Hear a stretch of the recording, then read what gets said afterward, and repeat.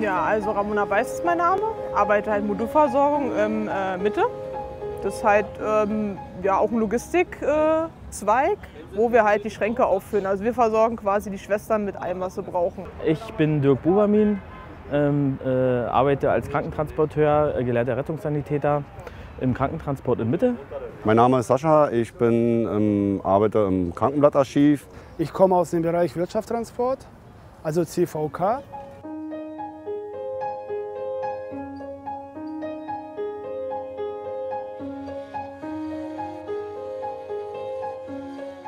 Der Mitarbeiter, der auch bei Wirtschaftstransport und der ist Gestellter, der verdient so im Monat so 600 Euro mehr. Und das ohne Weihnachtsgeld, ohne Urlaubsgeld, das hat er ja auch noch. Und er hat 30 Tage, ich habe 26. Das sind diese Zustände. Man merkt halt auch bei uns immer so ein bisschen den Unterschied, wie man behandelt wird auch. Also bei uns auch so Tatsache, dass die halt irgendwie, also bei denen mehr erlaubt ist, sag ich mal, oder mehr durchgehen lassen wird. Und wir, wir sind halt immer so, wenn immer Arbeiten anzumachen sind, die nicht so toll sind, dann sind wir halt immer so die Ersten, die angesprochen werden. Ne? Dann kommst du ja schon ungerecht behandelt vor natürlich. Wir wollen äh, gleiche Arbeit für gleiches Geld. Unsere Forderung ist Tarifvertrag des öffentlichen Dienstes seit 2011. 2011 waren wir drei Monate draußen. Okay, wir sind da ein bisschen weitergekommen, aber nicht so weit, wie wir es wollten. Aber was sollen wir machen? Wir waren da damals nicht so viel. Wir waren nur 150, 200 Personal. Also.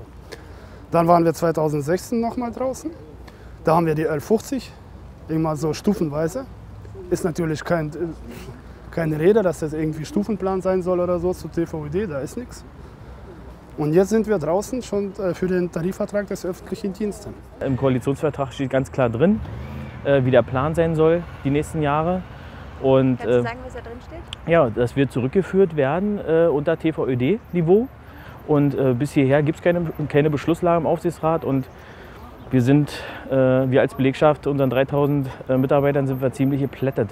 Ja? Dass da der, von der politischen Seite eben sich nichts bewegt.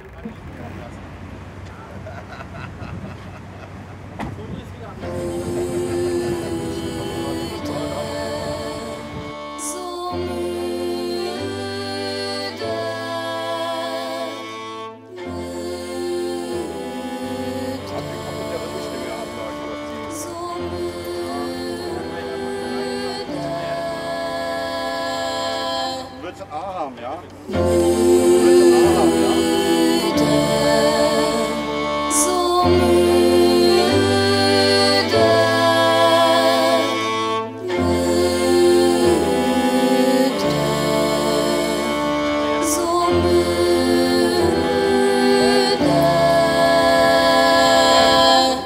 Ich werde mal so sagen, wir waren ja, wo die Linken hier ihren Parteitag hatten, am Wochenende, waren wir auch da. Und da haben wir von denen nur Gutes gehört, dass die hinter uns stehen. Aber wir sehen nichts.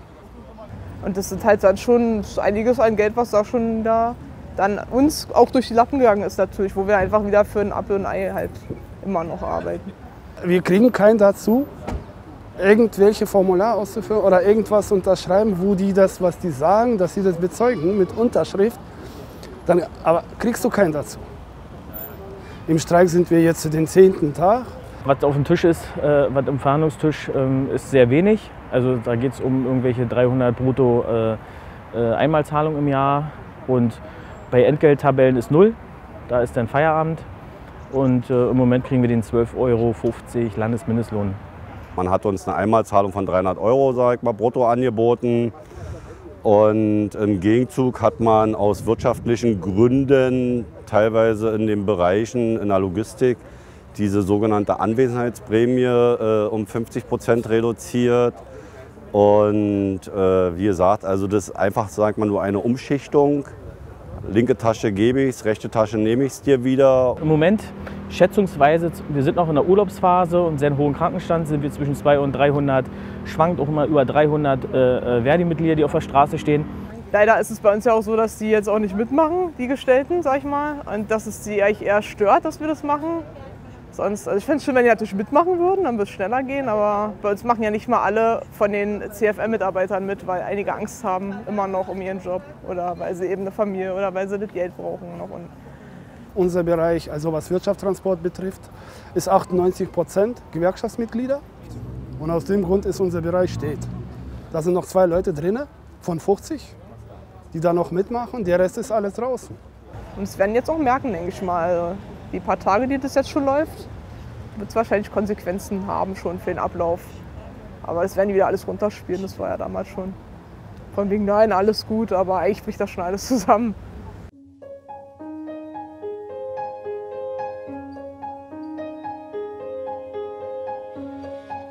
Im Moment wird durch Werksverträge, Leiharbeit und äh, Praktikanten ausgeholfen. Selbst die Schwestern sind dabei, ab und zu mal äh, äh einen Streikbruch zu machen, aber nur deswegen, weil die Ärzte sie unter Druck setzen, weil die operieren müssen. Ich habe es live erlebt, ich war letzte Woche vor Ort, wie, ähm, wie eine Schwester äh, äh zum Raucherpilz gekommen ist und hat gesagt, die Ärzte setzen uns unter Druck, die müssen operieren, die schreien uns auf Station an. Ich wurde auch schon angesprochen von dem Chef, wo dann gesagt wurde, ja, überleg, mit wem du halt länger klarkommen musst ob du dir das halt, äh, also ob du das antun willst, ob du halt bei Verdi bleibst oder ob du lieber in der Charité bleiben willst. Wo ich dachte, ja, ich sage dann im Endeffekt, schmeiß mich raus, dann will ich dafür auch nicht arbeiten für so einen Betrieb, der mich so behandelt, sag ich mal. Und jetzt vor kurzem haben sie sogar nur in unserem Bereich, nur in CVK, haben sie sogar Go-Mitarbeiter eingesetzt, die unsere Arbeit machen.